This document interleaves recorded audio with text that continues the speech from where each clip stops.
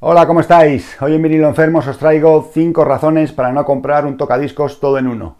Y lo primero es aclarar que es un tocadiscos todo en uno. Y son aquellos que traen todo en un solo aparato. Las cuatro partes fundamentales que necesitamos para escuchar la música desde un tocadiscos, música en formato vinilo, las expliqué en un vídeo que os dejo por aquí, que creo que se llamaba Cómo conectar tu tocadiscos. En ese vídeo, además de las conexiones, os explicaba que los cuatro elementos necesarios para escuchar la música desde un disco de vinilo son el tocadiscos, preamplificador, amplificador y altavoces. Cuatro elementos imprescindibles. Hay veces que unos elementos están incorporados en otros, es decir, un tocadiscos puede llevar incorporado un preamplificador, unos altavoces pueden llevar incorporados el amplificador, hay veces que encontramos estos elementos sueltos, que en mi opinión es la mejor opción, y el caso extremo es que los cuatro elementos estén agrupados en un solo aparato, y eso es un tocadiscos todo en uno.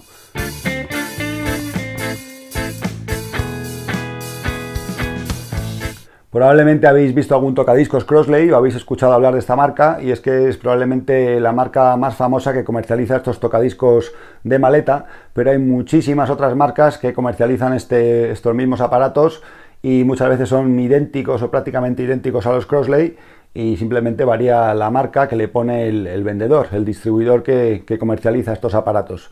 Antiguamente, en los años 60 y 70, también existían estos aparatos, estos tocadiscos todo en uno, y aquí yo tengo un Philips 110 que, como vais a ver, se abre de esta manera y aquí dentro tiene el tocadiscos. Tiene su plato, tiene su brazo y por aquí dentro lleva el, el preamplificador y el amplificador y aquí tiene incorporado un altavoz. Otros tocadiscos que también eran muy populares en los años 60 y 70 son estos que también tienen este aspecto de maleta y llevan los altavoces también, pero los altavoces se separan del resto del equipo. Es decir, no están integrados en el tocadiscos, sino que se separan así y se conectan con un cable, con lo cual se pueden alejar del tocadiscos y además pues no ejercen el, efecto negativo de que las vibraciones del, del altavoz incidan sobre la reproducción del disco. Esto se separaba de esta manera, con lo cual podías ponerlos cerca o más lejos. Traen su cable conector por aquí detrás. Y bueno, este es un modelo de tocadiscos muy popular, es un dual 1010, 1010 y la verdad que eran pues lo que se utilizaba habitualmente en las casas y en muchas fiestas. Como os digo, esto es una mejor opción que los tocadiscos que tienen todo integrado en un solo aparato y ahora os voy a explicar las cinco razones por las que a mí personalmente no me gustan estos tocadiscos que lo llevan todo en uno y voy a intentar justificar el por qué. Esto no significa que lo tengáis que tomar al pie de la letra, no tenéis por qué tirar vuestro tocadiscos todo en uno si ya lo tenéis, pero sí que os recomiendo que si estáis pensando en comprar uno, pues probablemente merece la pena ahorrar un poco más dejar de comprar dos o tres discos e invertir un poco más de dinero en el equipo, porque a la larga yo creo que bueno, son perjudiciales para, para la salud de los discos de vinilo y además no vais a disfrutar de un buen sonido, una buena calidad de sonido. Mi queridísima madre a la que le debo muchas cosas y entre otras esta afición al vinilo que tengo porque lo mamé en casa de ella, pues hace poco que sustituyó su equipo de música, tenía un equipo de música marca Schneider alemana con un tocadiscos y bueno, pues decidió jubilarlo y comprarse un todo en uno, sin preguntarme a mí. Cuando llegué a su casa y vi que tenía este aparato, pues poco menos que me dio un, un síncope, un colapso, y le dije, pero ¿cómo te has comprado eso sin consultarme, sin consultar al vinilo enfermo? Total, no, pues hijo, pues tal, no sé qué, porque sabía que me ibas a decir qué tal, qué cual. Bueno, en fin, mis respetos y mi cariño, madre, pero lo tuve en la cabeza durante un par de meses, tres, cuatro, no sé cuánto tiempo aguanté. El caso es que no pude más, simplemente por el hecho de pensar que su colección de discos, que es bastante buena y abundante y variada, pues que estaba sufriendo los daños provocados por ese equipo. No sé si habéis visto la colección de discos de mi madre, también os dejo por aquí un enlace por si no habéis visto ese vídeo que hice hace poquito. Y pensar que joyas como Pendulum de Creedence Clearwater Revival o algunos otros discazos que ella tiene estaban pasando por esa aguja y por ese equipo, pues me, me, hacía retorcerme de dolor. Así que lo que hice fue regalarle un tocadiscos automático, algo cómodo para que ella pudiera utilizar y conectarlo por la entrada auxiliar a ese equipo, que afortunadamente tenía una entrada auxiliar. Y así mi conciencia quedó un poco más tranquila y pude volver a dormir mejor. Estaba yo dándole vueltas a esto de los tocadiscos todo en uno y hacer un vídeo al respecto, cuando hace dos semanas me llegó un comentario en uno de mis vídeos que decía literalmente ¿Y por qué la música no suena en el mismo tocadiscos? ¿Por qué necesita ser conectado a un parlante o algo? Eso arruina todo. Y bien, pensé, mira, esto es una persona que está acercándose al mundo de la música en vinilo, que se está planteando probablemente comprarse su primer tocadiscos y al ver mi vídeo mm, pensó, o sea que además de comprarme el tocadiscos necesito comprarme un preamplificador, un amplificador, unos altavoces, esto qué locura es, ¿no? Para alguien acostumbrado, sobre todo para la gente joven, acostumbrada a escuchar música con un aparato como un teléfono móvil o, un reproductor MP3, en fin, cosas muy cómodas, muy pequeñas y muy sencillas de utilizar, pues entiendo que todo esto les parezca una locura y una complicación innecesaria. Y de hecho nadie dijo que escuchar música en vinilo fuera cómodo. Lo que tiene de agradable la experiencia de escuchar música en vinilo, de poner el disco en el tocadiscos y de escuchar la música en una calidad en mi opinión, muy superior a la mayoría de, otros formatos que existen, pues lo tiene de poco práctico. No es cómodo, no es una forma de escuchar música que sea portátil, no te lo puedes llevar a cualquier lado con facilidad, aunque yo tengo este pedazo maletín que me permite transportar dos tocadiscos y, y una mesa de mezclas, pero desde luego no es fácil, no es cómodo y no es sencillo. Yo por supuesto creo que merece la pena el esfuerzo, pero entiendo que haya mucha gente a la que le dé mucha pereza y, piense que esto es una locura y una complicación innecesaria. Probablemente por eso tienen tanto éxito, además de por el precio, los tocadiscos de maleta, de maletín, los tocadiscos todo en uno, o estos aparatos como el que os he enseñado de mi madre, en el que, bueno, pues es muy fácil, es tan sencillo como poner el, el disco en el tocadiscos, colocar la aguja en su sitio y ya suena la música. No necesitas nada más que enchufar ese aparato y listo. Pero como os decía, estos aparatos tienen bastantes inconvenientes, bastantes problemas que creo que se pueden evitar con una mínima inversión de dinero y con un poco más de espacio en tu casa y un poquito más de paciencia a la hora de, conectar el equipo. Estos cinco argumentos que voy a dar no están ordenados por orden de prioridad mía, ni de importancia, ni mucho menos, sino simplemente el orden en el que se me fueron ocurriendo.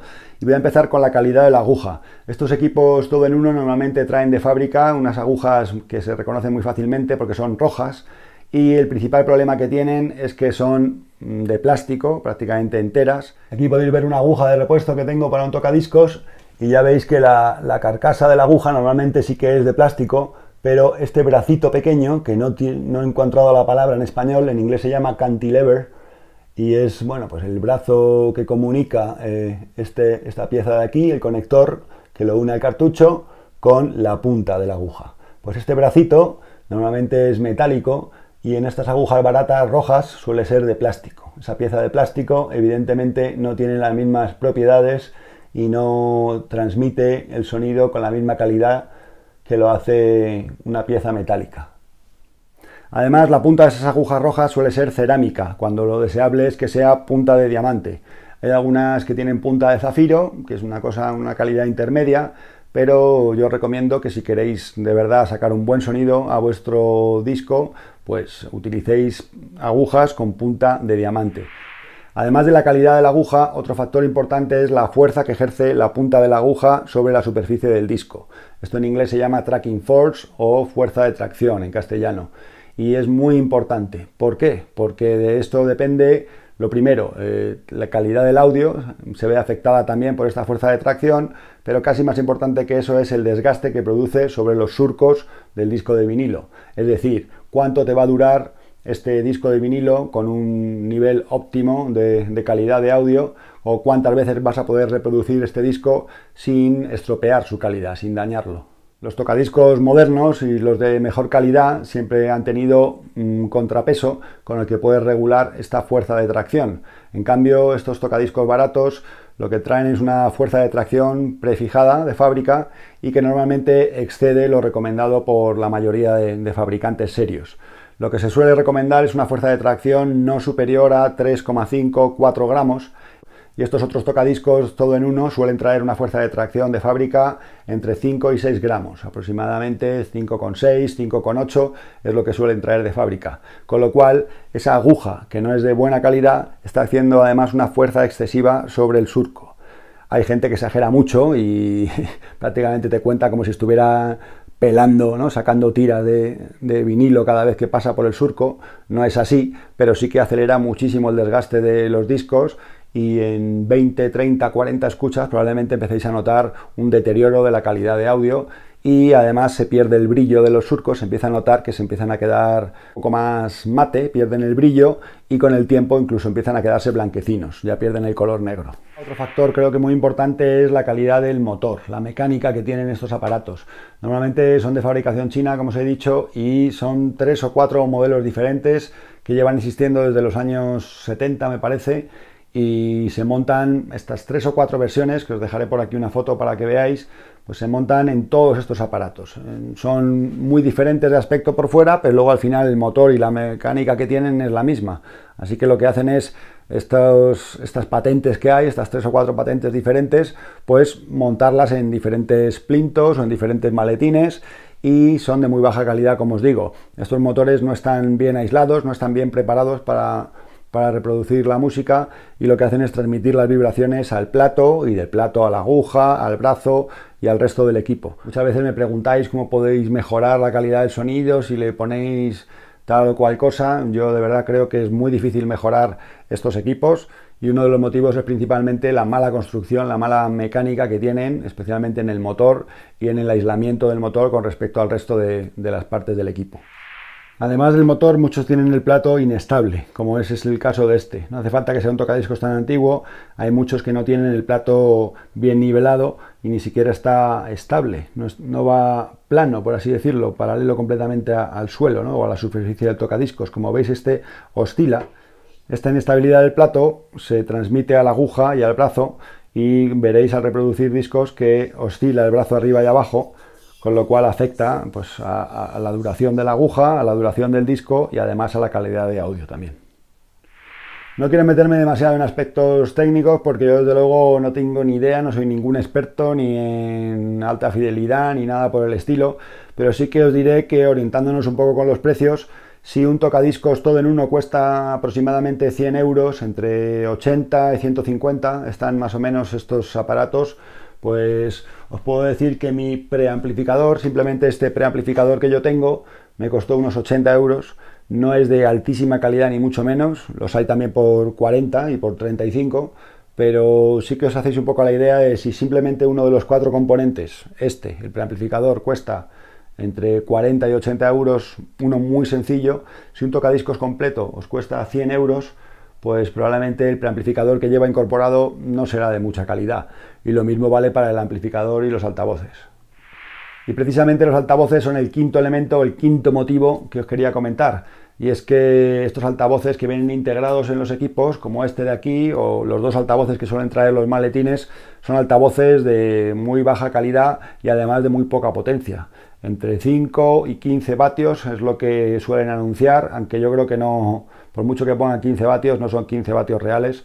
Y además el hecho de que vayan integrados en el aparato hacen que se transmita toda la vibración del sonido que sale por el altavoz, transmite toda la vibración al resto del aparato, con lo cual estamos en las mismas. Esa vibración se transmite al brazo, se transmite a la aguja y hace que vaya oscilando el brazo y la aguja dentro del surco y además, pues bueno, hace que se pierda calidad. Hay veces que me escribe la gente comentarios preguntándome, oye, no entiendo por qué mi tocadiscos hace unos ruidos metálicos o chirría mucho, se oyen demasiado los agudos y no escucho nada los graves. Pues bueno, tiene mucho que ver, entre otras cosas, con la calidad de los altavoces y con la vibración que estos altavoces transmiten al resto del equipo. Así que, en mi opinión, los altavoces deberían estar siempre separados del tocadiscos, siempre. Y en caso de que los altavoces sean un poquito más potentes y tengan realmente una calidad mejor, lo que harán es afectar tanto a la oscilación del brazo que puede incluso llegar a saltar la aguja. Puede saltar hacia adelante o hacia atrás en el disco con el daño a la aguja y al vinilo que se puede ocasionar. Así que, como os digo, altavoces integrados no es buena idea. Por último, para los que estáis pensando en comprar un equipo así, con todo integrado en un solo aparato, pues por supuesto podéis hacer lo que os dé la gana, podéis pasar de mí, podéis no hacerme ni caso, pero mi consejo es ahorrar un poco más, esperarse un poco a, pasarse al vinilo y comprar un aparato, por lo menos un tocadiscos que traiga el preamplificador integrado, eso me parece buena idea, y conectarlo a unos altavoces que tengan el amplificador integrado. Así solo tenéis dos aparatos, tocadiscos y altavoces. Y tendréis los cuatro elementos que se necesitan para escuchar música en vinilo.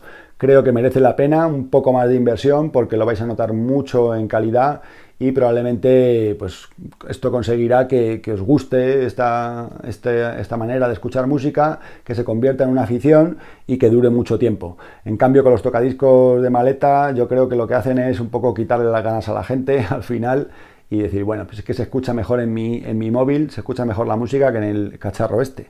¿Para qué necesito toda esta parafernalia para escucharlo tan mal? Así que mi opinión es tirar el dinero y arruinar un poco la afición de gente que se está iniciando en esto. Dicho esto, os voy a pedir por favor que me dejéis un like si os ha gustado el vídeo, si os ha sido útil o si no estáis de acuerdo conmigo, pues podéis dejarme un dislike, podéis dejar vuestros comentarios ahí abajo diciendo que os parecen mis razones, añadiendo algo, matizando cualquier cosa de las que he dicho. Y por supuesto, si no os habéis suscrito al canal, suscribiros porque dentro de poco habrá nuevos vídeos. Un saludo y hasta la próxima.